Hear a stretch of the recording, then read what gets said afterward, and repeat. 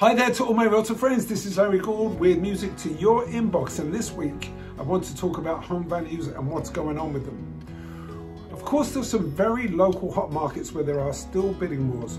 But on a national average, we're seeing we're coming to about a zero, a neutral appreciation rate. Values aren't going up, they're not going down month over month.